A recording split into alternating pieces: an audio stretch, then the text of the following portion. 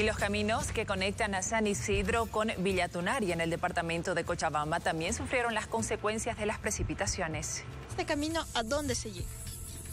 Llega por 2 de junio, se da la vuelta también. Sí, a Teresama también sale.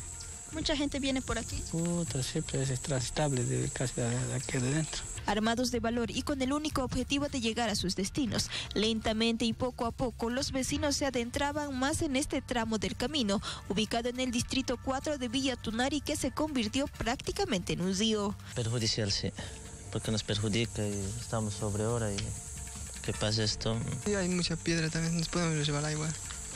Peligroso es. Mm, Sí, cada vez hay llegando agua, sí. Más adentro también, pero hay agua, harta agua ahí. Casi la cintura. pues. Según testimonio de aquellos que lograron cruzar este pequeño río, caminaron largos minutos por lo que estiman un kilómetro de agua en pequeños puntos que presentaban peligrosa profundidad.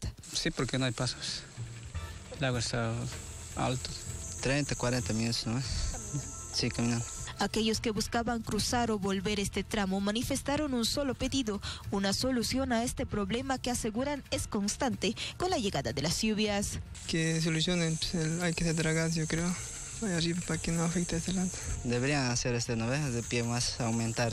Sí, para que arreglen, pues, para que aumenten también de pie, ¿no? La- Las autoridades están encargadas de eso. Pero siempre en, este- en esta temporada se está inundando y dificulta a las personas.